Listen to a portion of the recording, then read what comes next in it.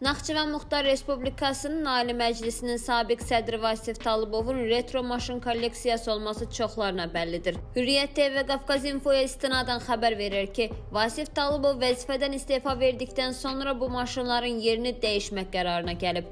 Belə ki, sözü gedən retro maşınlar kolleksiyasına daxil olan avtomobillər bir neçə gün öncə Vasif Talıbova məxsus Bakının Atatürk prospektində yerləşən villadan təcili daşınıb. Bunun üçün onun evinin önünə bir neçə evakuator da cəlb olunub. Hazırda sözü gedən maşınların Gəmiqaya Holdingin ərazisinə gətirilməsi ilə bağlı iddialar var.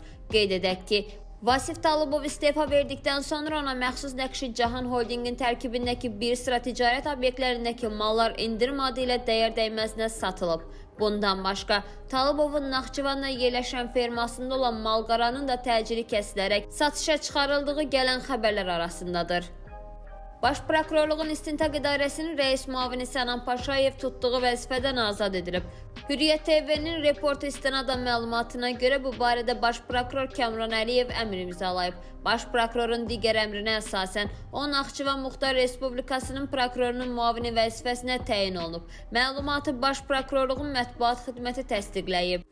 Qeyd edək ki, Naxçıvan Muxtar Respublikasının prokurorunun müavini daha əvvəl Muxtar Respublikanın Ali Məclisinin keçmiş sədri Vasif Talıbovun qardaşı Məhərrəm Talıbov idi. Əziz izləyicilər, ən son xəbərlərdən xəbərdar olmaq üçün və daha çox insana çatması üçün videomuzu bəyənib kanalımıza abunə olub bildirim zəngrovunu tıklamağınızı xahiş edirik.